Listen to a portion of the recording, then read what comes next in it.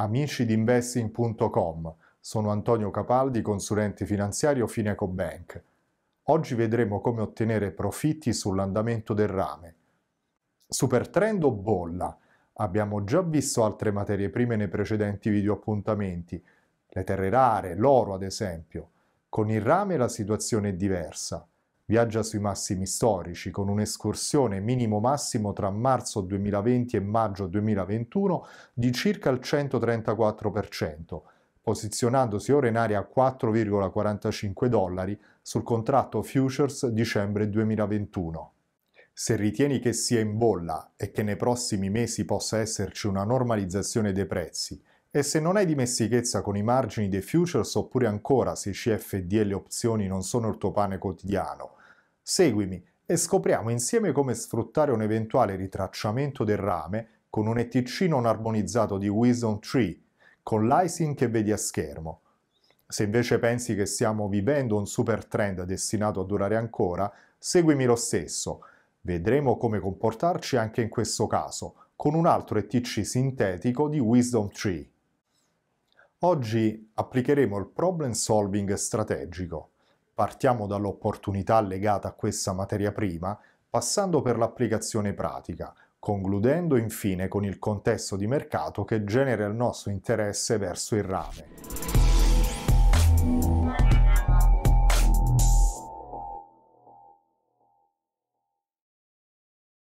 Diamo un'occhiata al CFD con il codice a video. Se ritieni che le attuali quotazioni siano eccessive, la strategia più corretta è vendere il rame sempre con una size gestibile e applicare la nostra solita strategia martingala vendendo ulteriormente a soglie percentuali di perdita prefissate, raddoppiando il controvalore investito fino ad un prezzo di mercato in prossimità del massimo registrato a maggio. Ad esempio, guardando il grafico a video, con una distanza di circa 10 punti percentuali dal massimo, farei tre ingressi, uno adesso, uno di pari importo sul meno 5% e l'ultimo raddoppiando il controvalore investito se si raggiungesse il massimo. Se invece ritieni che rame nel superciclo, acquista una size adesso e applica la strategia martingala dosando la liquidità disponibile e la grandezza della size per essere in grado di gestire una situazione di mercato avversa, fino ad esempio ad una situazione limite di meno 50%. Vediamo infine come innessare le due strategie insieme. Posso applicare la prima, short, e a superamento del massimo di una percentuale che riduca le possibilità di falsi segnali, chiudere la posizione e attuare la seconda strategia, long. Con l'ETC di Wisdom Tree, con ISIN e sigla schermo, perseguiamo l'idea che i prezzi del rame siano in bolla. Dopo il primo ingresso, eh, come dal grafico, attenderemo ribassi del 5%, per mediare raddoppiando le size fino ad arrivare al minimo storico registrato da questo ETC. Siamo invece dell'idea che rame in super trend, di nuovo prendiamo in considerazione l'ETC di Wisdom Tree con ISIN e sigla che vedi a schermo. Calibra gli ingressi con la nostra strategia, considerando anche i supporti in area 7,20 euro ed il più lontano a 6,50 euro. Ti ricordo che entrambi gli ETC considerati sono non armonizzati, dunque dovrai riportare le performance conseguite in dichiarazione dei redditi, poiché soggetti a tassazione ordinaria per scaglioni IRPEF. Inoltre, essendo sintetici, subiscono l'effetto contango e backwardation in maniera decisa, rendendo così la performance attesa probabilmente differente da quella realizzata. A supporto di ciò che ci dicono i grafici, il rame è il protagonista principale del 2021. Al centro della transizione energetica in atto, il suo utilizzo è massivo nella produzione e la ristrutturazione degli impianti sostenibili. È totalmente riciclabile ed è un ottimo conduttore di elettricità, rendendosi così essenziale nel campo delle energie rinnovabili.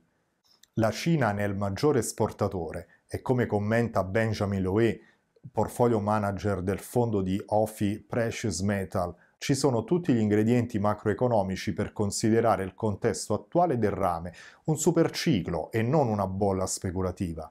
Le premesse quindi ci sono a supporto di un super trend, ma molti esperti hanno anche un pensiero divergente, che tende quindi ad una sopravvalutazione di questo asset. Norman Villamin dichiara che a maggio il rame ha raggiunto i massimi di sempre sulle ali della crescente domanda di veicoli elettrici e alla tendenza verso l'energia verde delle maggiori economie globali. Il rame è infatti uno degli elementi fondamentali per produrre questi veicoli, in quanto gran parte dei condotti elettrici contengono rame. Da anni però l'industria mineraria estrattiva non investe più nella capacità di produzione di minerali industriali chiave e quindi la forte domanda di materie prime eh, necessarie per produrre beni, anche in questo caso le autovetture elettriche, ha portato il prezzo del rame a toccare nuovi picchi, poi aggiunge che il suo team è convinto che si tornerà ad investire nelle capacità di produzione ed estrazione di queste materie prime, ma ci vorrà del tempo e nel frattempo il prezzo della materia prima continuerà a salire, generando di conseguenza un aumento del costo finale del prodotto.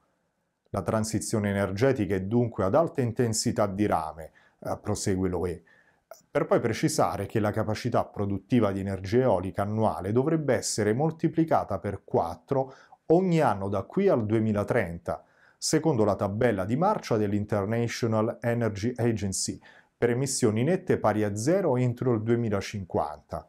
Poiché una turbina eolica contiene tra 950 kg e 5 tonnellate di rame, a seconda della sua capacità di potenza, si può immaginare l'impatto sul mercato del rame. Poiché occorrono dai 6 agli 8 anni per rendere produttiva una nuova miniera, bisogna affrontare questa situazione con la capacità produttiva esistente. Non favorevole al super trend è Livio Spadaro, portfolio manager di Frame Asset Management. Spadaro non vede un innalzamento strutturale della domanda del rame, invece addebitata alla forte domanda di Pechino e transitoria. In tal senso si dichiara che gli sforzi economici delle maggiori economie per la rivoluzione green sono ingenti, tuttavia si sottovaluta lo scarso impegno della Cina eh, che non sta riducendo le emissioni di CO2. Quindi il team di Spadaro ritiene che la svolta green in Cina sarà molto più lenta di quanto si prevede. Si è scettici anche per quanto riguarda la futura domanda di veicoli elettrici, che potrebbe essere ostacolata dai costi di produzione, di consumo e di riciclo dei materiali ancora elevati e dalla carenza delle infrastrutture di mantenimento. Inoltre la domanda attuale è stata generata prevalentemente dagli stimoli fiscali implementati in alcuni dei maggiori paesi, con Stati Uniti su tutti, ma non da un sostanziale miglioramento dell'occupazione del reddito, la cui redistribuzione è alla base dell'innesco di un super trend. Quindi, finiti gli stimoli, anche la domanda potrebbe scemare a fronte di un maggiore costo di produzione dei beni. Conclude Spadaro che occorre considerare che le aziende attive nell'estrazione intraprendono nuovi progetti solo nel caso in cui vi sia un aumento strutturale dei prezzi, dunque con una domanda sana, piuttosto che un aumento di prezzo dettato dalla speculazione, che è il caso dell'ultimo rialzo delle materie prime.